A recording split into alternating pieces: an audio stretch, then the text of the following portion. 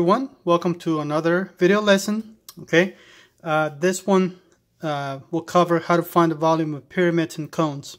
So if you want to pause the video and copy uh, what I have here and then press continue or press play to continue uh, with the lesson. Alright so the formula to find the area of pyramids and cones is the same.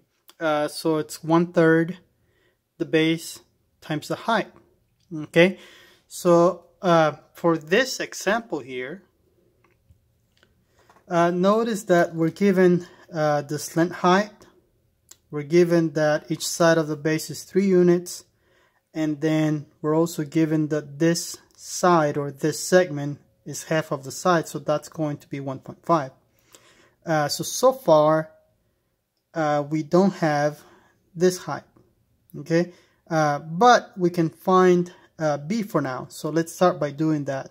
So b is going to be equal to um, since this is a uh, rectangle or square it's going to be the base times the height. So then this is 3 times 3 so the base is going to be equal to 9 so we have the base for now. Now to find the height, uh, we are going to need to use Pythagorean theorem. Okay, so I'm going to pull this uh, right triangle inside of that pyramid. I'm going to draw it smaller. Okay, so we know this side is 1.5 and this is the slant height, so that's the hypotenuse, so 3.4 and this is what we don't know. Okay, remember I said for volume on one of the video lessons I said uh, for surface area you can use the slant height but for volume you have to use the interior height. So we don't have that in this problem. So we're going to use Pythagorean theorem to help us find it.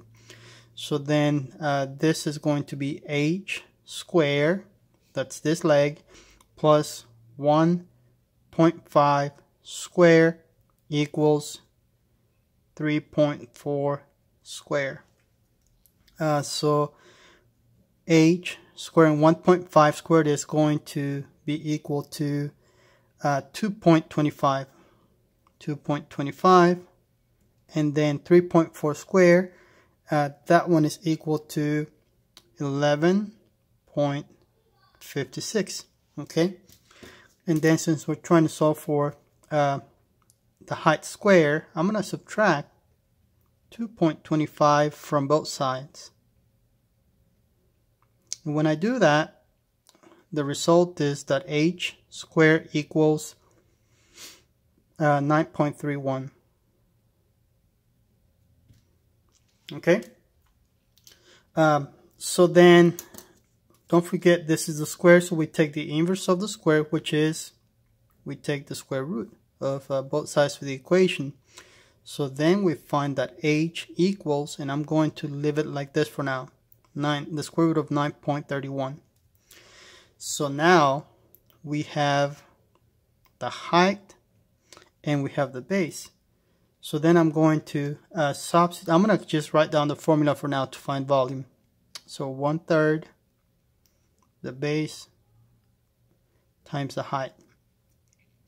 So then this equals one third uh, B is 9, okay, and H, H is the square root of 9.31.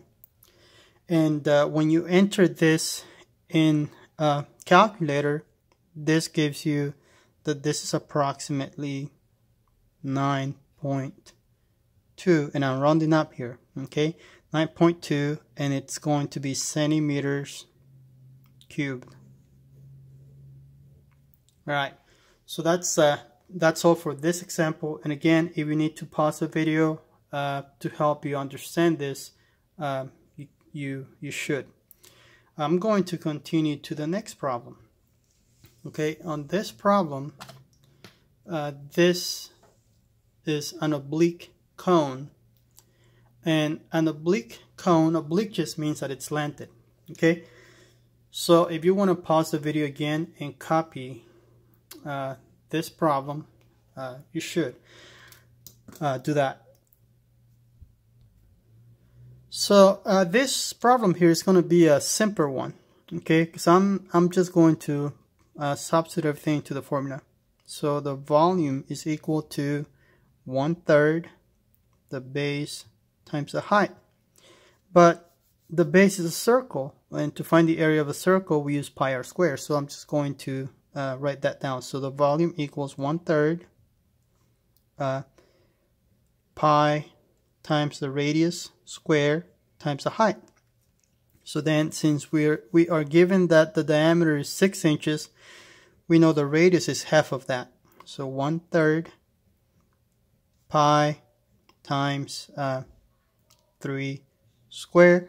The height, this one we have an exterior height, okay? So times 5.5 and uh, that's all for this.